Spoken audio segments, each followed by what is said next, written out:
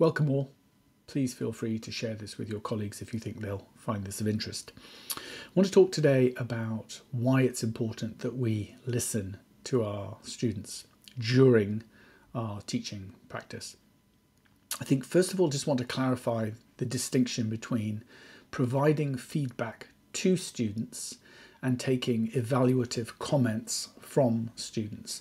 I think sometimes the language we use is a little bit loose and that complicates things. It also devalues the sense of feedback that students are actually receiving during the course of their learning experience.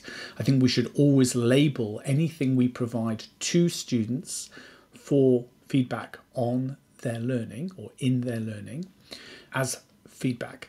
And then anything we receive from them is evaluation at an institutional level, of national surveys, and in our individual practice. So I want to talk about the way we uh, elicit evaluation from our students. So obviously the easiest way of doing that is to read the room. You're looking for individual responses. You maybe need to avoid focusing on that one very negative, grumpy, miserable looking student and read the room on that basis. You don't want to imply that that is the common feeling. But if you scan the room, you'll be able to see whether or not there is uh, a good degree of engagement. I think we need to distinguish between that kind of very informal in session evaluation and more formal mechanisms for evaluation. And I want to talk about an, an in session evaluation, and then I'll talk about end of course or end of module evaluation in just a moment. I want to focus in this conversation about the way in which we use in class evaluation.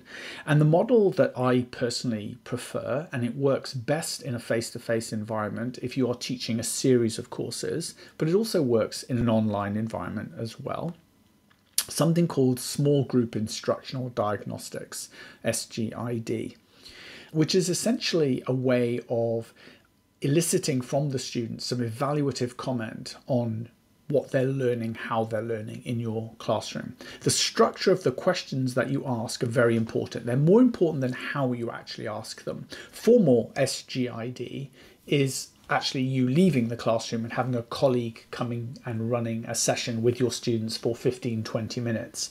Uh, and that usually would happen around a third of the way through your course.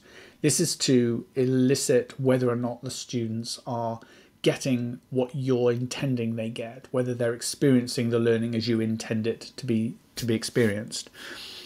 There are a number of different ways that you can do this, I think it works quite well to literally just hand out pieces of paper with four blocks on and ask them to fill out, put something in each of those blocks.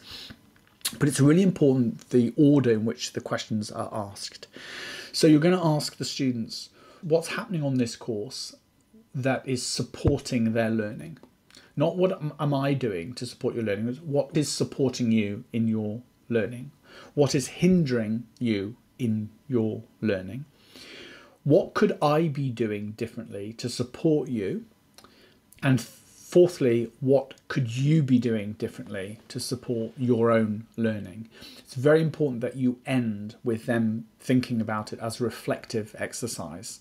Very often students will say that last comment, what can I what can you be doing for your own learning? Students will very often say, oh, I need to do the pre-reading or I need to prepare better for class or so it, it, it encourages them to take some degree of ownership over their own learning it's really important that when you collate all of those responses that you do feedback so if you're teaching face to face or online on a weekly or, or a regular basis some scheduled basis it's really important that you then say to the students i listened to you. You suggested this is what's strengthening your learning collectively. I'm going to do more of that. This is what's hindering. I'll try and do less of that. That gives students a sense of participation and a sense of ownership in the learning process. That's a very important part of getting evaluation from students. The, the more formal aspect of end of course or end of module evaluation is usually structured around whatever institutional, regional, or national surveys are carried out. Historically, institutions used to just do their own end of course uh, evaluations, and tutors regarded that as almost a, a tick box exercise. It's become much more significant in many countries to have institutional data that is then aggregated uh, across the, the entire piece. And I think it's important that you recognize that those questions are not necessarily questions that you have any direct control over.